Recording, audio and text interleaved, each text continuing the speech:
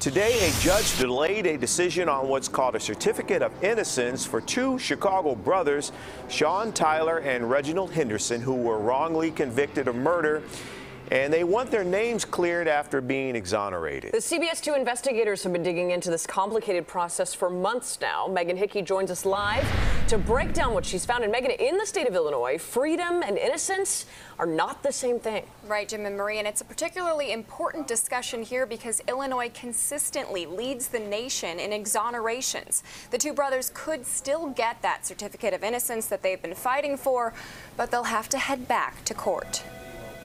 So being exonerated in Illinois does not necessarily mean you're innocent. Correct. I mean, Attorney Josh Tepfer with the Exoneration Project explained that the frustrating delay that exonerees Sean Tyler and Reginald Henderson are experiencing When I walk out of here, I'm still seen as a criminal. is part of the process for many wrongly convicted people across the state. It's senseless and cruel, and it prolongs suffering unnecessarily. He says it's actually more streamlined now than it used to be when exonerees required a pardon from the governor. This statute was put into place because when Governor Blagojevich was in office, he was simply just not ruling on any of these. It wasn't like he was denying them, he just wasn't ruling. And there was a huge backlog. A certificate of innocence means your record is wiped clean and you can bring a claim for damages against the state.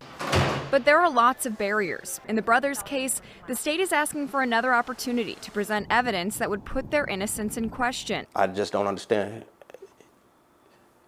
You're not guilty, but in our eyes, you're not innocent. So where does that leave you? Praying.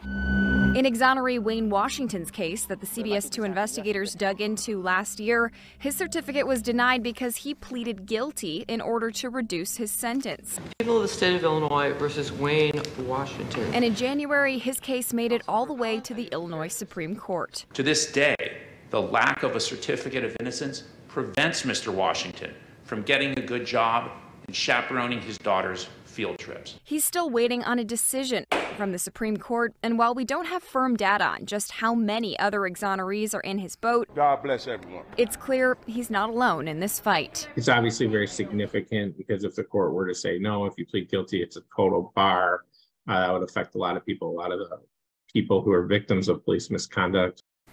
Now, as for Sean Tyler and Reginald Harrison, they did not get the news they wanted today, but there will be an evidentiary hearing in May where a judge will be able to consider any evidence the state has before weighing in. In the newsroom, Megan Hickey, CBS 2 Investigators.